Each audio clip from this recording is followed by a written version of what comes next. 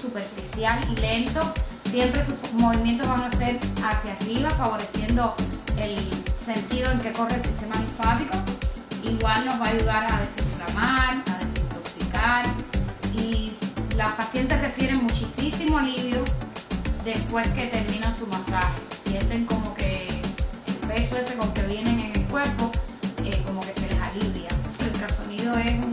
calor profundo que nos va a ayudar a desinflamar, va a favorecer la cicatrización interna y a evitar la formación de la fibrosis postquirúrgica.